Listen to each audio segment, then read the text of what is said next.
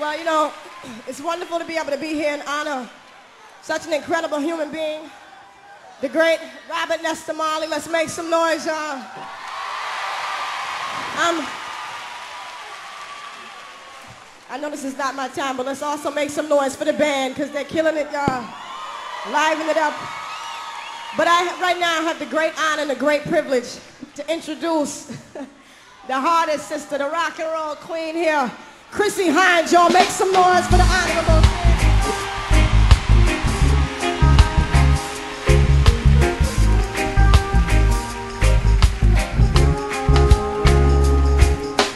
I don't wanna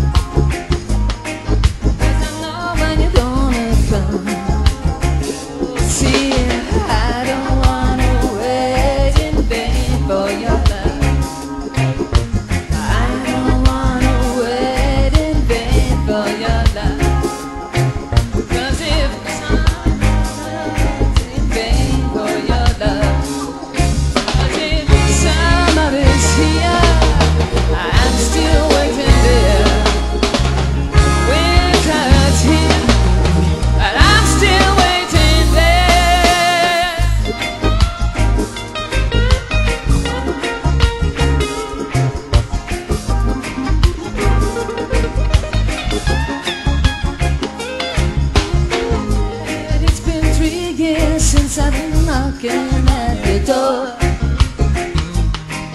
And I still can't knock some more. Ooh, boy, ooh, boy, is it feasible?